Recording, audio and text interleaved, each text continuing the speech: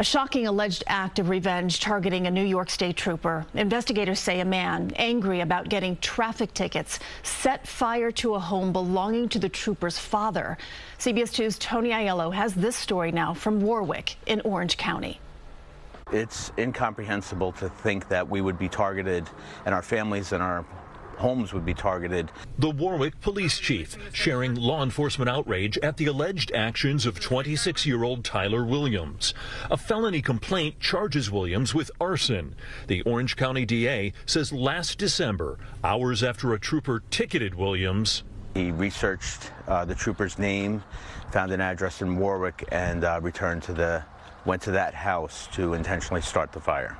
Almost five months later, workers are still repairing the damage. The trooper's father and other family members escaped without injury. Before charging Williams, investigators obtained multiple search warrants, many of them for computer and smartphone records. Podcast host Phil Grimaldi is a retired NYPD detective.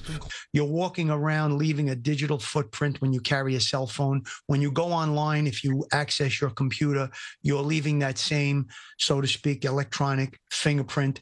In Warwick, there's relief at the arrest and disbelief over the alleged crime. My son-in-law is NYPD, and they are concerned, police officers are often concerned about people trying to take revenge, but doing it against his father, that, that is really the lowest of low.